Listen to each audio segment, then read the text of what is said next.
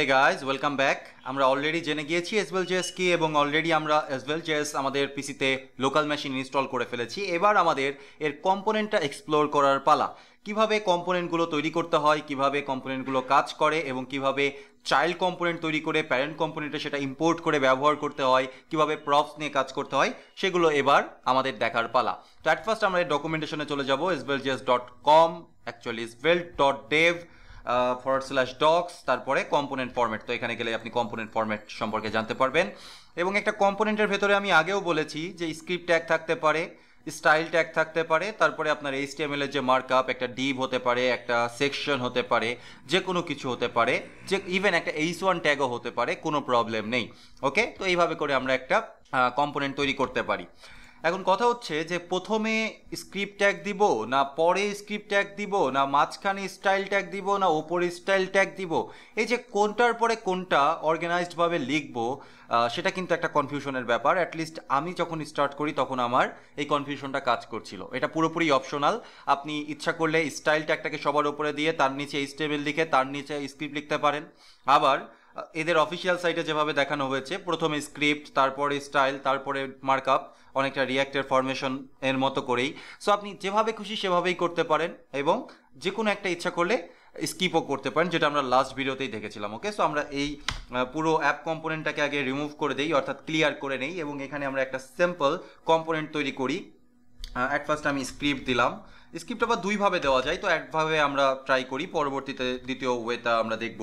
এরপর আমরা স্টাইল নিয়ে কাজ করব, আর ফাইনালি আমরা এখানে একটা ডিভ নিতে পারি সিম্পল ডিভ আচ্ছা তো এই ডিভের ভেতরে আমরা বললাম, একটা এইচ ওয়ান ট্যাগ আছে এই এইচ ওয়ান ট্যাগের ভেতরে বললাম যে hello Svelte you are beauty okay oh sorry beauty okay এরপরে আমি একটা লোরেম এফসামের মতো করে একটা প্যারাগ্রাফ ট্যাগ দিলাম। লোরেম ওকে তো এইবার এই যে ডেটাটা আমরা লিখলাম, এই যে কম্পোনেন্টের এইচটিএমএল পার্টটা আমরা লিখলাম, সেটা আমরা এখানে দেখতে পাচ্ছি। ওকে সিম্পল এখন এর কোনো স্টাইল আমাদের কাছে নেই। তো আমরা স্টাইল প্রোভাইড করতে পারি এবং স্টাইল ট্যাগের ভেতরে গিয়ে আমরা পুরো ডিভের একটা স্টাইল দিতে পারি ডিভের আমরা একটা আইডি নিতে পারি। ওকে সো যদিও স্কোপ সেও তো আমাদের এক্সট্রা করে কোনো আইডি দেওয়ার দরকার পড়ছে না। সো আমি ডিভ নিয়ে নিলাম।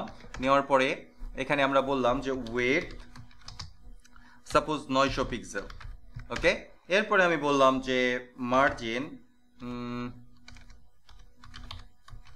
মার্জিন বললাম হচ্ছে জিরো অটো অর্থাৎ মাঝখানে চলে যাবে। এটা একটা ব্যাকগ্রাউন্ড কালার দিতে হবে সো ব্যাকগ্রাউন্ড কালার হিসেবে আমি দিলাম হচ্ছে ডিডিডি একটা অ্যাশ কালার ওকে তো এবার যদি আমি সেভ করি এবং ব্রাউজারে যাই, এটা রিফ্রেশ নেবে এবং দেখেন যে সুন্দরভাবে আমাদের এখানে চলে আসছে। এবং উপরে কিছু মার্জিন রয়েছে, সেটা আসলে কোনো ব্যাপার না। আমরা এখানে মার্জিন জিরো জিরো অটো দেওয়ার পরেও একটা মার্জিন সে নিচ্ছে। আচ্ছা যাক, আমরা এই ডিজাইনটা নিয়ে এখন অতটা মাথা কামাবো না, কারণ আমি সিএসএস এর সবসময় কাঁচা। যাই হোক, আমরা যেটা বোঝাতে চাচ্ছিলাম সেটা কিন্তু আমরা দেখতে পাচ্ছি। হ্যাঁ একটা হাইটও আমরা দিয়ে দিতে পারি মিনিমাম হাইট মিনিমাম হাইট দেওয়া যেতে পারে ছয়শো, সাতশো পিক্সেল দেওয়া যেতে পারে। তাহলে একটু বড় আকারে এখানে থাকবে। জাস্ট আপনাদেরকে বোঝানোটাই আমার উদ্দেশ্য nothing else okay that's cool এরপরে আমরা এইচ ওয়ান ট্যাগটা নিয়ে যে কাজ করছিলাম, সেই এইচ ওয়ান ট্যাগের একটা ফ্লেভার আমরা দিতে পারি। সরি অ্যাবাউট দ্যাট এর একটা ফন্ট সাইজ দিতে পারি ফন্ট ফ্যামিলি দিতে পারি আমরা। ফন্ট ফ্যামিলি দিলাম হচ্ছে সরি অ্যারিয়াল হালভেটিকা এটা দিলাম এরপরে আমরা একটা ফন্ট সাইজ দিতে পারি। ফন্ট সাইজ দিলাম হচ্ছে থার্টি সিক্স পিক্সেল আরও বড় দেওয়া যেতে পারে। এবং হচ্ছে টেক্সট অ্যালাইন দিতে পারি আমরা টেক্সট অ্যালাইন সেন্টার ওকে একইভাবে আমরা পি ট্যাগেরও একটা স্টাইল প্রোভাইড করতে পারি। পি ট্যাগ এর স্টাইল হিসাবে আমরা দিলাম হচ্ছে জাস্ট ফন্ট ফ্যামিলি আচ্ছা ফন্ট ফ্যামিলি যেহেতু কমন সেহেতু আমি ফন্ট ফ্যামিলিটাকে এখান থেকে কেটে এখানে দিয়ে দিই। তাহলে পুরো ডিভের জন্যই ফন্ট ফ্যামিলিটা সেট হয়ে যাবে। আচ্ছা তাহলে এখানে জাস্ট আমাদের একটু ফন্ট সাইজ দিতে হচ্ছে। Font size suppose eighteen pixel এরপরে line height line height one point two that's all আপাতত এতটুকুই থাক, আর কিছু করার দরকার নেই। এইবার দেখেন যে সব কিছু চেঞ্জ হয়ে গেছে, তাই না? অনেকখানি চেঞ্জ হয়ে গেছে। আমরা একটু প্যাডিংও দিতে পারতাম এই ডিপের ভেতরে। প্যাডিং প্যাডিং হিসাবে দিলাম কি দেওয়া যেতে পারে প্যাডিং হিসাবে টেন পিক্সেল দেওয়া যেতে পারে। অবশ্যই আমরা বক্স সাইজিংটাকে বর্ডার বক্স করে দিব। Box sizing border box okay that's good এবার আরেকটু সুন্দরভাবে, দেখেন সুন্দরভাবে আমাদের সব কিছু দেখাচ্ছে। দ্যাটস কুল এবার দেখা যাচ্ছে যে এখানে আমাদের কোনো নির্দিষ্ট ডেটা আছে ওকে সেই ডেটাটা আমরা এখানে শো করতে চাচ্ছি। সেই ডেটাটাও আমরা শো করতে পারি। স্ক্রিপ্টের ভেতরে দেখা যাচ্ছে যে আমরা কোনো একটা ভ্যারিয়েবল নিয়েছিলাম। সাপোজ আমি নেম নিয়েছিলাম। Let name is equal to এই সেম নাইম আর আর কি দেওয়া যেতে পারে? আচ্ছা শুধুমাত্র নেমই থাক আর গ্রেডিং থাকতে পারে। Let greet is equal to hello so আমরা এই যে নিচের একটা অংশে আর একটা এইচ ওয়ান ট্যাগের মাধ্যমে দেখাতে চাচ্ছি নেম এইচ ওয়ান বা এই হ্যালো এইচ এম নাইম এই কথাটা আমি দেখাতে চাচ্ছি ওকে সেটা আমরা কীভাবে দেখাতে পারি? কারণ এটা মূলত আমাদের মার্কআপ ল্যাঙ্গুয়েজ বা মার্কআপ আর এখানে হচ্ছে আমাদের স্ক্রিপ্ট ট্যাগের ভেতরে ভ্যারিয়েবলটা আছে। তো অন্যান্য অনেক অ্যাঙ্গুলার বা আপনি যদি রিয়াক্টের কথা চিন্তা করেন রিয়াক্টে আছে দিস ডট সেট স্টেট বা দিস ডট স্টেট অ্যাঙ্গুলারে আছে স্কোপ এই সব কিছু আমাদের কিচ্ছু লাগবে না এখানে হ্যাঁ? সো আমরা এখানে সিম্পলি এইচ ওয়ান ট্যাগ ব্যবহার করলাম। এখানে আমাদের ফার্স্টের টার্মসটা হচ্ছে গ্রেটিংস তাই তো? তাহলে গ্রেটিংসটা পাওয়ার জন্য আমরা স্ট্রিং ইন্টারপোলেশনের মতো একটা টার্মস দিলাম। এখানে মূলত টেমপ্লেটিং করা হচ্ছে। এবং এই যে টেমপ্লেটটা এই টেমপ্লেটের ভেতরে আমরা যে কোনো জাভা স্ক্রিপ্ট কোড লিখতে পারি। এবং এই যে এখানে যে ভ্যারিয়েবলটা ব্যবহার করা হয়েছে, এই ভ্যারিয়েবলটা এই পুরো ফাইলের ভেতরে বা এই পুরো মডিউলটার ভেতরে অ্যাক্সেসিবল অর্থাৎ আমরা এখান থেকে ইজিলি লিখতে পারি গ্রিট এটা নট ইরোর এটা কোনো ইরোর না এবং এটা ডিরেক্টলি রেফার করবে এই হ্যালোটাকে বা এই ভ্যারিয়েবলটাকে এটা হচ্ছে একটা পাওয়ার ইজ বেল্টের এবং এরপরে আমাদের একটা কমা দিতে হবে এবং যেহেতু হ্যালোর পরে কমা দিয়ে আমি নেমটাকে রিপ্রেজেন্ট করতে চাচ্ছি, সেক্ষেত্রে আবারও আমাদের একটা কার্লি ব্র্যাকেট দিতে হবে বা সেকেন্ড ব্র্যাকেট দিতে হবে এবং সেখানে আমি বললাম name that's all that's all আপনি আপনার পছন্দ মতো স্ক্রিপ্টের ভেতরে যে কোনো ভ্যারিয়েবল ডিক্লেয়ার করতে পারেন, যে কোনো লজিক্যাল কোনো বিষয় রাখতে পারেন এবং ফাইনালি আপনি এখানে সেটার আউটপুট দেখতে পারবেন। কি মজার ব্যাপারটা। ওকে আমি সেভ করি। সেভ করার পরে আমি দেখছি হ্যালো এই সেম নাইম আমি যদি এখান থেকে নেমটাকে চেঞ্জ করে দেই এখানে বললাম ওয়েলকাম সরি নেম হচ্ছে টুইঙ্কেল ক্যাটস আর গ্রিট হচ্ছে ওয়েলকাম সেভ করি। দেখেন যে এটা কিছুক্ষণের ভেতরে রিফ্রেশ নেবে। রিফ্রেশটা নিতে একটু টাইম নেয়, কেন জানি না, এটা বান্ডেলিং হয় তো বান্ডেলিং হওয়ার কারণে একটু টাইম নেয়, এবং এটার সাথে সাথে এখানে দেখাচ্ছে welcome twinkle cats this is awesome okay আর কি করা যেতে পারে? এখানে একটা কনসেপ্ট আছে রিয়াক্টিভিটির একটা কনসেপ্ট আছে, সেটা নিয়ে আমরা পরবর্তীতে আলোচনা করব, যার ফলে ক্যালকুলেটেড ডেটাটাও এখানে সবসময় চলে আসতে থাকে। এটা আমরা পরবর্তীতে আলোচনা করব। এরপরে এবার আমরা একটা নতুন কম্পোনেন্ট তৈরি করে ফেলি ওকে এই যে ডেটাটা আমরা এখানে দিলাম, অর্থাৎ গ্রিটিংস এই গ্রিটিংসটা আমরা এখানে না রেখে আরেকটা নতুন কম্পোনেন্টের ভেতরে রাখতে পারি। সেই কম্পোনেন্টটা আমরা এখানে ক্রিয়েট করতে পারি আউটলাইনটার আমার দরকার নেই। আমরা সোর্সের ভেতরে নতুন আরেকটা ফাইল ক্রিয়েট করব এবং যার নাম দিলাম greet greet dot Svelte okay?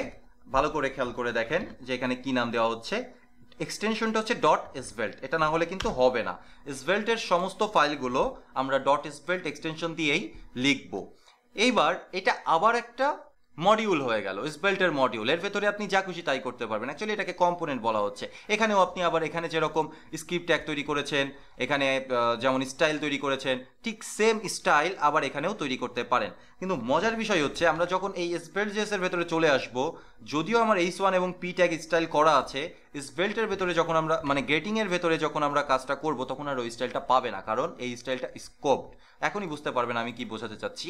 এখানে আমার জাস্ট এইচ ওয়ানটা একটা দরকার সো আমি এটাকে কাট করে নিই, এটা আমার আর দরকার নেই ওই ফাইলটাতে আচ্ছা এখনই আমাদেরকে বলছে গ্রিট এবং নেম কোথাও ডিক্লেয়ার করা হয়নি, স্বাভাবিক, এটা কোথাও ডিক্লেয়ার করা হয়নি সো আমরা যেটা করব সেটা হচ্ছে এখানে আর একটা স্ক্রিপ্ট ট্যাগ নিব এই স্ক্রিপ্ট ট্যাগ নিয়ে আমরা কল্পনা করছি যে প্রপস আকারে আমরা যদি অন্য ল্যাঙ্গুয়েজ নিয়ে কাজ করে থাকি, অন্য ফ্রেমওয়ার্ক বা লাইব্রেরি রিয়াক্টের মতো লাইব্রেরি নিয়ে যদি কাজ করে থাকি, তাহলে আমরা জানি যে বাইরে থেকে চাইল্ড কম্পোনেন্টের কাছে প্রপস আকারে ডেটা পাঠানো যায়। ঠিক তেমনি এখানেও আমরা এক্সপেক্ট করছি যে গ্রিট আর নেমটা প্রপস আকারে আসবে। এখানে প্রপস আকারে আসা আনার জন্য আমাদেরকে ভ্যারিয়েবল আকারে ডেটাটাকে ডিসক্রাইব করতে হয়। কীভাবে সেটা করতে হয়? Let greet is equal to something even let name is equal to something এখন কথা হচ্ছে, এটাও একটা নর্মাল ভ্যারিয়েবল ডিক্লারেশন এটা যদি নর্মাল ভ্যারিয়েবল ডিক্লারেশন হয়, তাহলে আমাদের প্যারেন্ট কম্পোনেন্ট বুঝবে কীভাবে যে এটা অ্যাকচুয়ালি প্রপস এটা বোঝার জন্য একটা স্পেশাল সিনট্যাক্স আমাদেরকে ব্যবহার করতে হবে এবং এখানে আমাদেরকে বলতে হবে export not export default just export export করার অর্থ হচ্ছে, এই স্কিপ ট্যাগের ভেতরে কোনো কিছুর, কোনো ভ্যারিয়েবল ডিক্লারেশনের সামনে এক্সপোর্ট লেখার অর্থ হচ্ছে এটা একটা প্রপস এটা বাইরে থেকে আসবে এক্সপোর্ট এটা যদিও বাইরে থেকে আসবে, আমরা বলে দিচ্ছি, কিন্তু তারপরেও আমরা এখানে ডিফল্ট একটা ভ্যালু দিয়ে রাখতে পারি। সাপোজ আমি ডিফল্ট ভ্যালু হিসেবে দিয়ে রাখলাম H M Naim sorry greet H M Naim না গ্রিট হচ্ছে হ্যালো আর নেম হচ্ছে এইচ এম নাইম এটা হচ্ছে আমাদের ডিফল্ট ভ্যালু আমরা বাইরে থেকে কল করার সময় কিছু যদি প্রোভাইড না করি প্রপস তখন সে এই ভ্যালুটাকে নিয়ে নেবে ওকে তো আমরা সেভ করি। সেভ করে এবার আমরা আমাদের অ্যাপস ইসভেল্ট ফাইলটাতে যাই এবং আমাদেরকে এই কম্পোনেন্টটাকে ইম্পোর্ট করতে হবে। অ্যাজ ইউজুয়াল যেভাবে আমরা কাজ করে থাকি। তো এখানে আমরা স্কিপ ট্যাগের ভেতরে ইম্পোর্ট করব। ইম্পোর্ট এই ফাইলটার নাম হচ্ছে গ্রেট আপনি যে কোনো একটা নাম দেন from dot for slash sorry greet greet dot Svelte আচ্ছা এই ক্ষেত্রে খেয়াল করে দেখেন, আমরা কিন্তু কোনো কিছু এক্সপোর্ট করিনি। আপনি বলবেন যে, ভাই, আমি ভ্যারিয়েবল এক্সপোর্ট করেছি। এটা শুধুমাত্র প্রপসের জন্য। আমরা পুরো কম্পোনেন্টটাকে কিন্তু কোথাও এক্সপোর্ট করিনি। আর এসবেল্টে আমাদের কোনো কিছু এক্সপোর্ট ডিফল্টভাবে করার দরকার নেই এবং এক্সপোর্ট ডিফল্ট এখানে রেস্ট্রিক্টেড করে দেওয়া হচ্ছে আপনি ইচ্ছা করলে ব্যবহার করতে পারবেন না, ওকে? ওকে ফাইন আমরা গ্রিডটাকে তো ইম্পোর্ট করলাম এবং গ্রিডটাকে এবার আমরা ব্যবহার করব কীভাবে? যারা রিয়্যাক্ট করেছেন, তারা জানেন যে, একটা কম্পোনেন্ট কীভাবে ব্যবহার করতে হয়, ঠিক তেমনি। গ্রেট আমি সিঙ্গেল ই দিয়ে সেলফ ক্লোজিং ট্যাগ ব্যবহার করে এখানে সেভ করে দিলাম। সেভ করে এবার রান করলাম। ওকে সো রিফ্রেশ করি। হ্যালো এইচ এম নাইম ফন্টটা ঠিক মতো পাচ্ছে, কারণ আমার ফন্টটা হচ্ছে ডিভের জন্য তৈরি করে দেওয়া। অর্থাৎ এই ডিভের ভেতরে, এই যে কোনো ডিভের ভেতরে, অর্থাৎ এই ডিভের ভেতরে যে কোনো কিছুর ফন্ট স্টাইল ওটা হবে, ঠিক আছে। কিন্তু আমি দেখেন এইচ ওয়ানের সাথে এখানে ফন্ট সাইজ প্লাস হচ্ছে টেক্সট অ্যালাইনমেন্ট ঠিক করে দিয়েছিলাম। এখানে কিন্তু টেক্সট অ্যালাইনমেন্টটা আসছে না। এবার আমি যদি ফন্টের সাইজ এটাকে বৃদ্ধি করে দেই এইটটি সিক্স না আসলে ফর্টি সিক্স করে দেই। তাহলে দেখব যে এইটার ফ্রন্ট সাইজ বেড়ে যাবে, কিন্তু এইটার ফ্রন্ট সাইজ বাড়বে না, কারণ এই স্টাইলটা হচ্ছে স্কোপড অবস্থায় আছে ওকে এই এইচ ওয়ানের স্টাইল এই এইচ ওয়ানকে মোটেও ইম্প্যাক্ট ফেলবে না।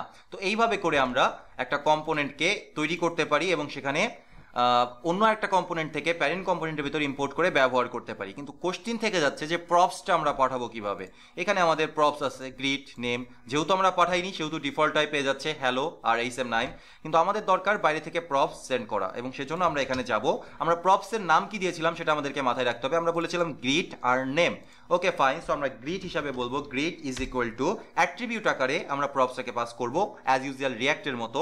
এখানে আমরা পাস করব হচ্ছে welcome and second argument second props আকারে আমরা দিব হচ্ছে নেম নেম হচ্ছে টুইঙ্কেল ক্যাটস এটা আগে পরে দেন, কোনো প্রবলেম নেই। যখন আমরা বাইরে থেকে প্রোভাইড করব, তখন আর ডিফল্টটা ব্যবহার হবে না। তখন আমরা যেটা প্রোভাইড করব বাইরে থেকে, সেটাই আসবে। আর এটা বিল্ড হতে কিছুটা টাইম নেয়। আমি যেটু, যতটুকু এক্সপিরিয়েন্স করেছি যে সেভ করার সাথে সাথেই আসে না। যখন একটু কাজ বেড়ে যায়, তখন একটু টাইম নেয় বিল্ড হতে। এটা নিয়ে প্যানিক ঝড় কিছু নেই। ওয়েলকাম টুইঙ্কেল ক্যাটস এই ওয়েতে আমরা খুব সহজেই একটা প্রপস তৈরি করতে পারি। কিন্তু প্রবলেম থেকে যাচ্ছে যে, যদি আমাদের এই প্রপস বা এই নেম ভ্যালুটাকে চেঞ্জ করতে হয় এবং এই নেম ভ্যালুটা আমরা চেঞ্জ করতে চাচ্ছি এখান থেকে বা অন্য একটা কম্পোনেন্ট থেকে, তাহলে সেইটা আমরা কীভাবে করব? সেটা আসলে আমরা এই ভিডিওতে দেখব না, এটা আমরা দেখব পরবর্তী ভিডিওতে ওকে এবং পরবর্তী ভিডিওতে একটা প্যারেন্ট কম্পোনেন্টের কোনো একটা ডেটাকে বা ভ্যারিয়েবলকে চাইল্ড কম্পোনেন্ট থেকে কীভাবে চেঞ্জ করতে হয়, যেটা রিয়াক্টে ফাংশন প্রপস আকারে পাস করার মাধ্যমে করা হয়।